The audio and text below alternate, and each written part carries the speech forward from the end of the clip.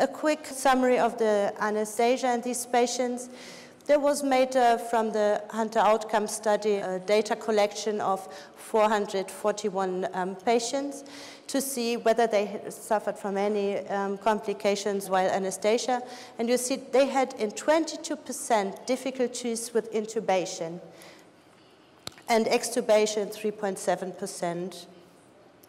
And most of them, the intubation, 18% of these patients received surgery and anesthesia before the diagnosis was made.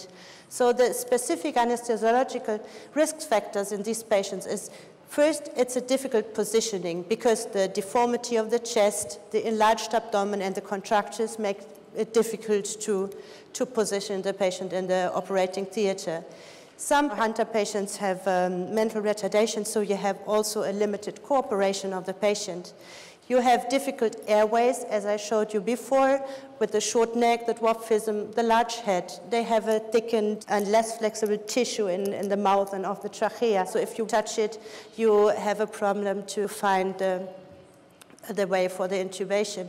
The macroglossia makes it difficult to see the, the pharynx and also the cervical spine involvement makes it difficult to, to perform anesthesia.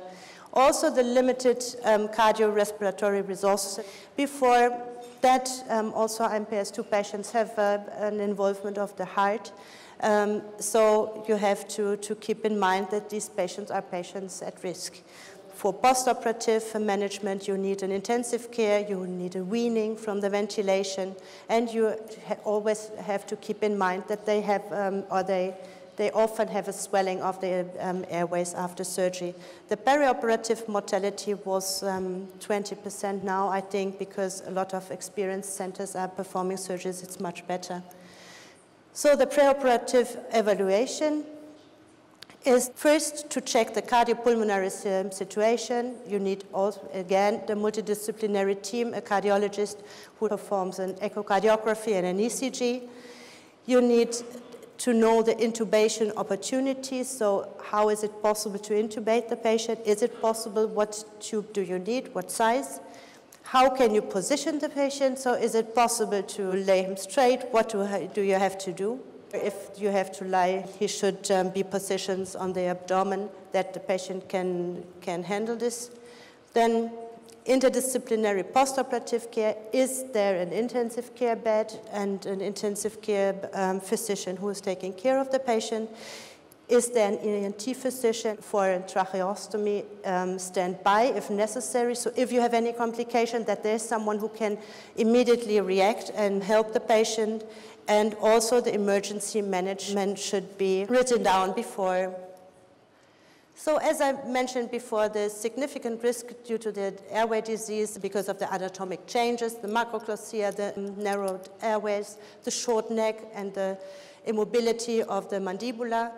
The intubation itself is difficult, so always, or we recommend to have always an ENT physician for a tracheostomy standby. The post-operative um, um, edema is very often in MPS 2 patients and makes it difficult to extubate. So a lot of anesthesiologists recommend to give some precortisone um, after surgery.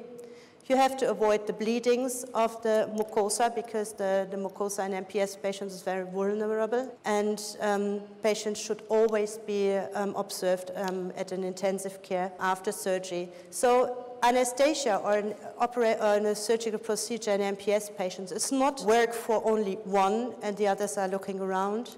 It's really a teamwork. So you need the anesthesiologist who is experienced with MPS patients. You need the ENT physician who is in standby if you need him. You need a surgeon who is aware that he's not, he has not a healthy patient, but a patient with a metabolic disease. You need the intensive care unit who is aware of the problems that can occur after surgery, and you need someone who is organizing and coordinating that so that everybody knows what to do. It's not possible to make a plan for all that is fitting for all patients, but what you need is you need a plan for each single patient because the heterogeneity of, of the patient is so high so that you really have to think prior surgery how to, the plan should be for each patient. So what we recommend um, how to perform the surgeries in MPS patients is it's always better to have a big medical center who is performing these surgeries, who knows how to are experienced in dealing um, with these high-risk surgical patients.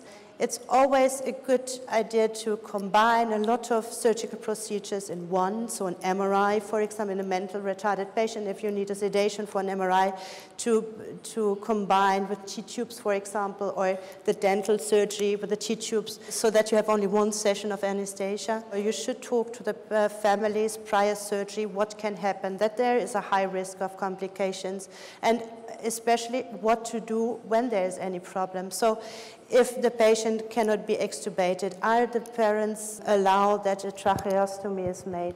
So as I mentioned several times before, carpal tunnel hernia and ENT problems are the most frequent surgical procedures.